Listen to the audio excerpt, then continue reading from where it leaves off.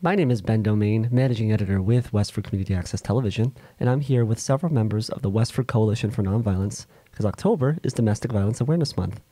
I'm going to have all of you ladies introduce yourselves. We'll go clockwise, and I'll start with you, Gail.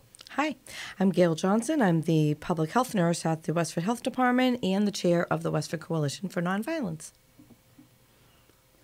I'm Alison Christopher, and I am the social worker for the Westford Council on Aging and the town of Westford. And I also am a part of the Westford Coalition for Nonviolence. Hi, my name is Jody Marchand. I'm also um, I also work with uh, Westford Coalition for Nonviolence, and we also um, I'm founder of the Live for Liv Foundation, a foundation that was started due to the death of my daughter, a victim of domestic violence. And I'm Pat Rapuchi, a community volunteer for the Westford Coalition for Nonviolence. All right, great. Thank you all. Gail, I see you have some notes. I know we're going to be uh, talking a bit about the organization. I don't want to lose the ball here. So, can you tell us a bit about the uh, the org? All right, well, I will read from my notes then.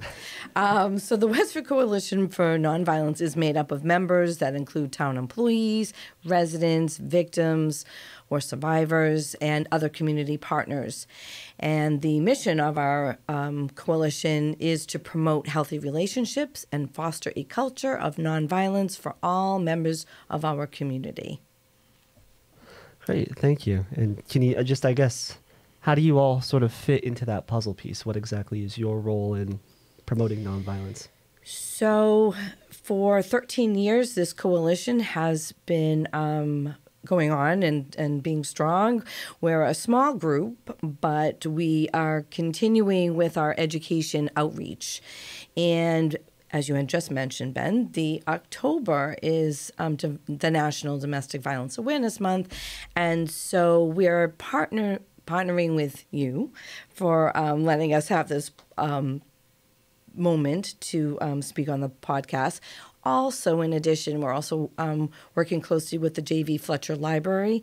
And for the many years now, they have put out books in the periodical room on domestic violence and um, for so adult books on domestic violence and for bullying for children. So they do that for us for the entire month. And also, I just wanted to mention that the Westford Coalition for Nonviolence has developed a handbook. It's a resource book, and that's a free resource that can be picked up at the Westford Health Department or the police station, Cameron Senior Center, and the library and it's a resource book that's only for information only. And we've so far distributed a thousand copies out into the um, community, which is amazing and wonderful. Um, and lastly, um, this is our second year using the Big Top party rental. They're called the Christmas Light People from Tewksbury, and they're the ones that put the purple lights on at our gazebo at the town common. And the purple lights are um, they represent the Domestic Violence Awareness Month. So um, when you see purple lights, and also in addition to that, we also have um, domestic violence signs that we're going to also put around the common as well, just so that we can. Um, pay tribute to those that are um, victims and survivors of domestic violence. Sure, that that all sounds great. Alison, can you talk a bit about your sort of role in this big this big puzzle? Sure. So um, I was asked to start coming to the coalition meetings over the last few years. Um, and it's just been a great place for me to get to know other um, staff and uh, partners and community members who care about this issue.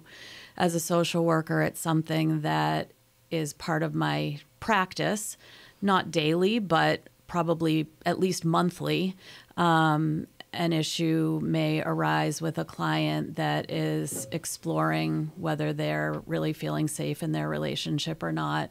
Um, and so it's important for me to, to be connected with the group and to feel like I'm on top of what resources are out there so that I can refer my clients to. Um, you know, I like the fact that when I'm working with people, they feel safe enough with me to start to explore this issue. But I also recognize that I can't be an expert in every topic that someone might be experiencing in their life.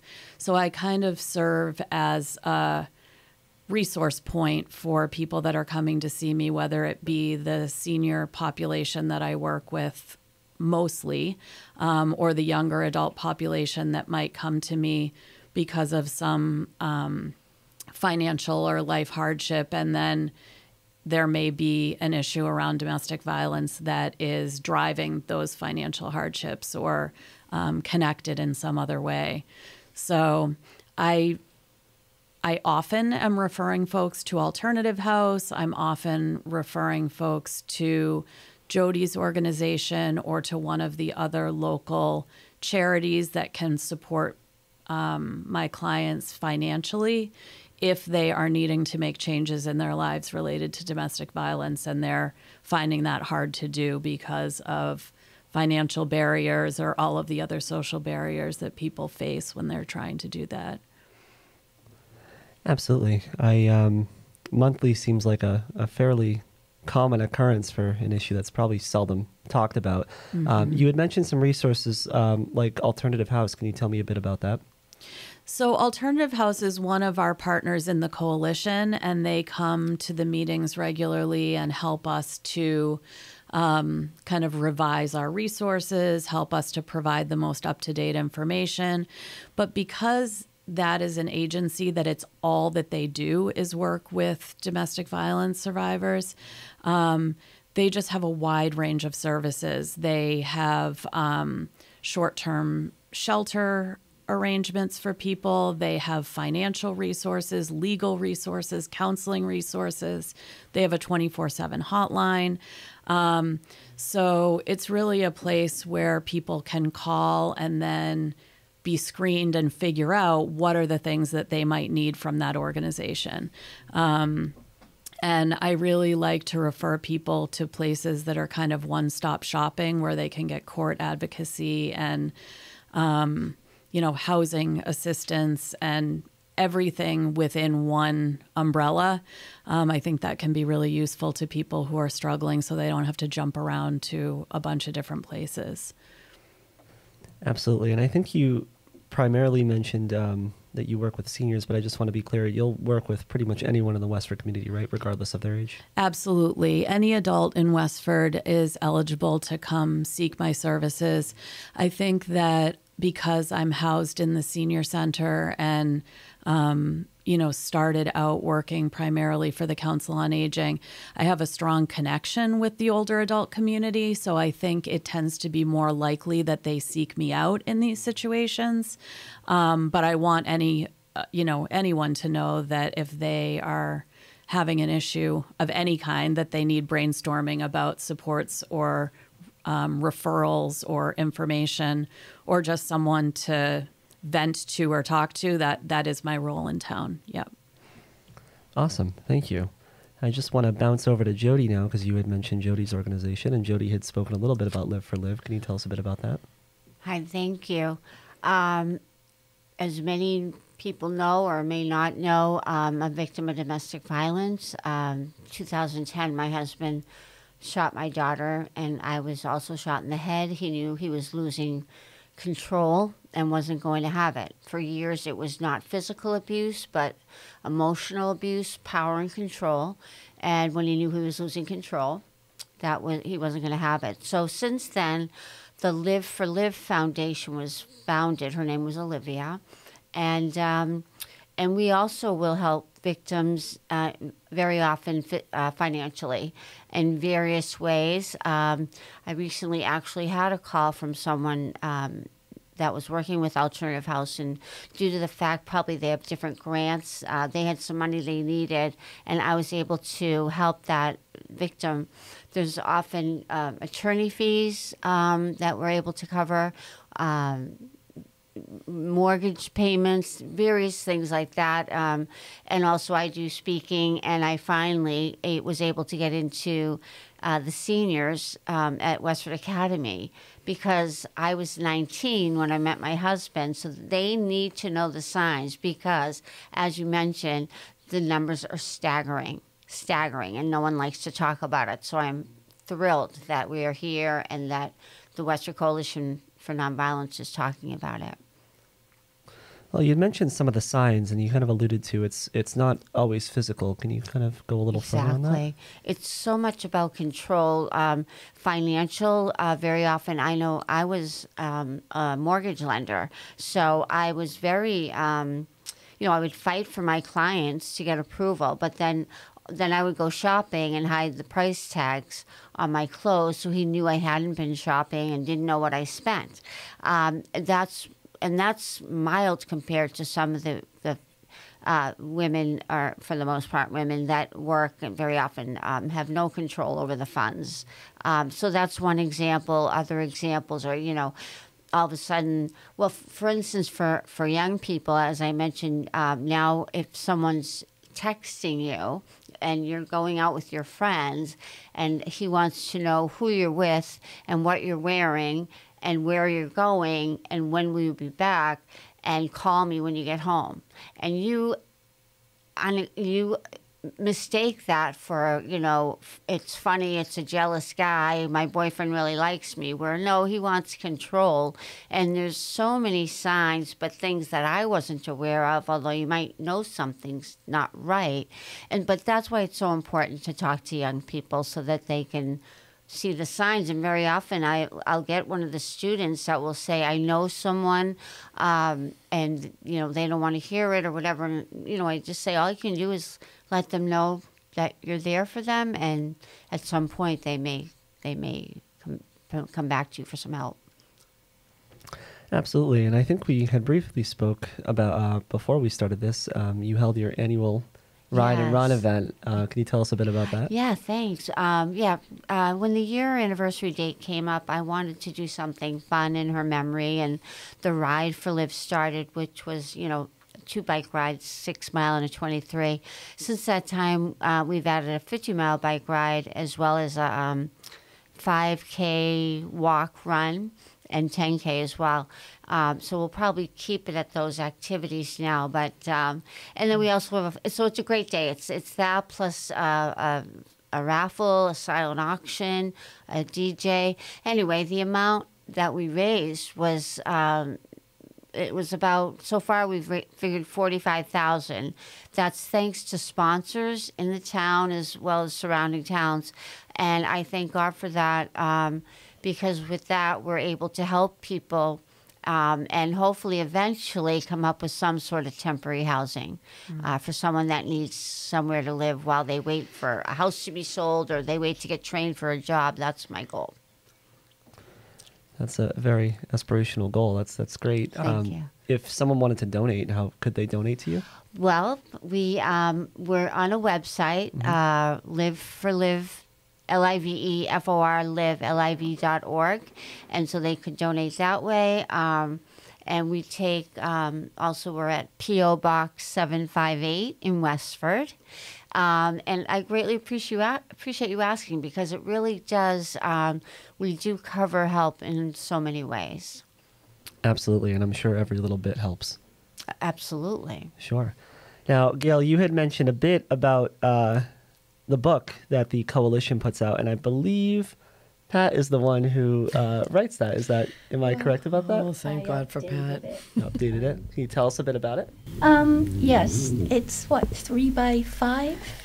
Um, and as Gail had said, there's a lot of concrete information where to get help. And it also goes through different scenarios. And when you're out in the local community, people, I've heard this said, there's no domestic abuse in Westford. And I, and I have been asked questions. People know you're part of the group. Um, so that's an educational opportunity there. And the handbook I've passed out all over the place. I keep it in my car actually. Um, So yes, it's updated. We now need another update, and also explains that domestic abuse runs the gamut. It's just not male on female, and as we noted, the numbers are staggering. And then I did a lot of um, research. Um, the LBGTQ community, those numbers are rising. So it can be anything, and it doesn't necessarily mean you're being beaten, but um, that does happen. And so I'm of an older age group where that was never mentioned. And then as time has gone on, people will tell you stories, you know, the same age group, and you just become horrified of the type of lives they actually had to lead. So um, hopefully, I'm a resource when I'm out there with the booklet, and I send many people Alison's way. So if they have questions, need help, and um, and I like that we partner with Alternative House, and you get to see how all that is run. And I've actually referred someone there as well. So within the community, on your travels with whatever group you're in, it's amazing the things that come up or the stories that come up. And then you're able to point people in a direction for help. Absolutely. So you're able to, you know, get them the help they need. But it seems like um, my understanding is you're sort of acting as a liaison for a lot of the seniors in the in this senior community. Is that? That actually has happened. Yes. I really feel like having a senior like Pat who is out socially with so many people. You know, not every person is someone that I've already worked with or who knows me or who feels comfortable with me and is going to come to me on their own to share something difficult. So, with domestic violence and with a lot of other topics related to aging that are difficult to talk about, I feel like Pat is really helpful in knowing how to guide people to the support. Um, and it doesn't always mean that because someone comes to me that that means that they're deciding at age 85 that they're going to get divorced or that they're going to completely change their living situation. You know, I don't want people to fear that if they come to talk about something that that means that they have to make a huge change in their life but there are so many things that we can do around safety planning, around strategies for how to make someone's life better, even if their choice is to remain in a situation that they've been in for their whole marriage um, or relationship. Um, there's just a lot of different ways to go about it that we can help someone to be safer, safer, or you know, to do the things that they choose to do at whatever point they are in their relationship.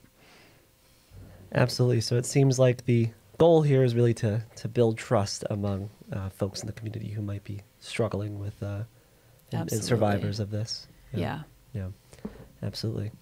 Well, this is all very great. Um, in terms of any other resources, do we have any other things that you know we can link back to and, and refer people to? Well, actually, now that you mention that, we are um, actually today. I'm hoping that um, the um, uh, we have made little cards. So these little cards are due today, I think. I'm hoping to pick them up.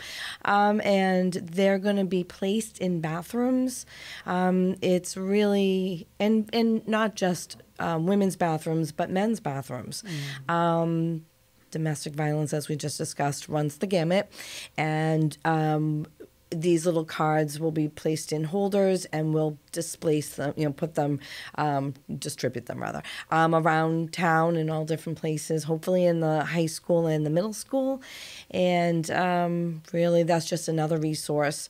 When you had just asked uh, Jody, what are the other signs of you know, besides physical abuse, sexual abuse, emotional, psychological, verbal, financial, spiritual abuse, neglect, bullying, gaslighting, digital abuse is now a huge abuse um, through all of those Facebook and Instagrams and all of the other um, mechanisms that people use to, um, you know, commit violence uh, through a, a, digital way. And it's really this resource book um, does you know have these highlights, these little definitions in the book.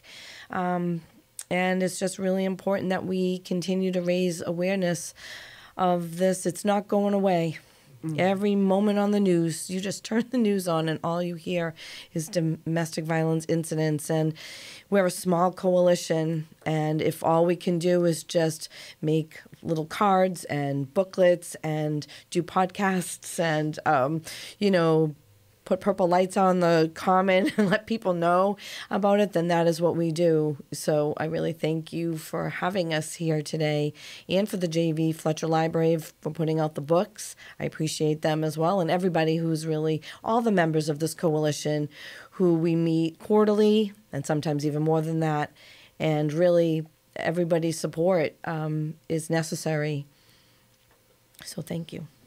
Absolutely. It, it, seems to me that you know half the battle is really just spreading awareness, um, and I think my my sort of takeaway is it, it doesn't always have to be physical violence. Violence can be, in, you know, come in several other forms, which is uh, well, it's terrifying, but you know, mm-hmm. um, getting the word out and and and uh, you know helping folks is you know really the best we can do, for sure.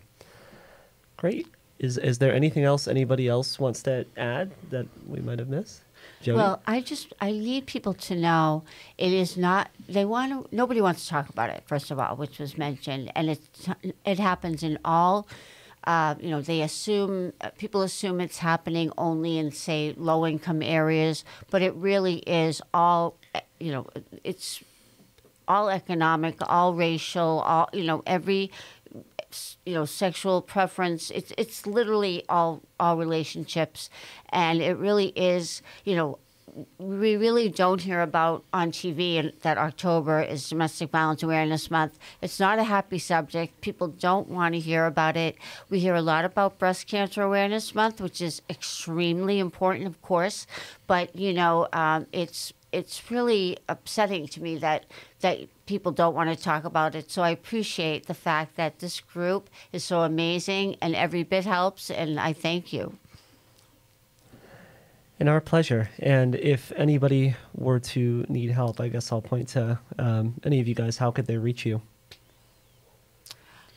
So I am easily reachable in my office at my uh, direct line, which is 978 399 2325 or through the main number at the Cameron Senior Center. And I'm also available via email from the town website. I just suggest that people only write their name and phone number and that they want to talk with me and not anything too personal in their email. I am um, so Gail Johnson, and I'm the Westford Health Department um, public health nurse. So G Johnson at westfordma.gov, G-O-V, 978 399 2548 is my direct line. And the Live for Liv uh, Foundation, our email is live for liv uh, 2010, the year that everything happened, at gmail.com. Um, I can probably be reached at the uh, Cameron because I'm in there most days, and um, it'd be best just to ask for me. Great, thank you. And I just want to add a little bit, you kind of touched upon it. Uh, if it's a westfordma.gov email, it's generally subject to the public records law. So just something to be mindful for if you're reaching out by phone is usually uh, the best bet if there's sensitive information. Exactly. Just a little little journalist. Oh, thank bit. you. That was yeah. a good. Thanks for clarifying was, yes. why I said that. I appreciate that. You're right. .gov is um, yep. Generally mm-hmm. speaking. Um, but yeah, no, this this is all great, and uh, all of these emails and numbers we listed in the description, and we'll make sure to uh, include any relevant links uh, as well. But uh, all of you, thank you very much. Thank, thank you. you.